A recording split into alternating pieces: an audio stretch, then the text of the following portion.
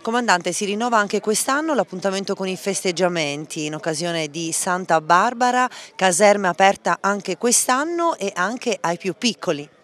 Beh, certamente per noi è, più che tradizione è diciamo, un appuntamento d'obbligo quello di Santa Barbara perché è effettivamente una data di consuntivo e anche di propositi futuri.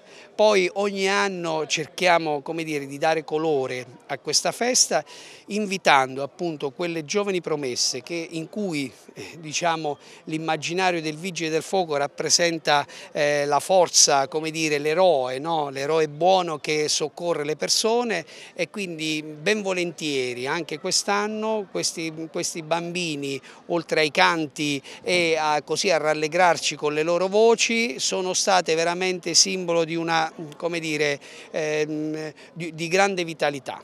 Ad oggi qual è il consuntivo dell'attività?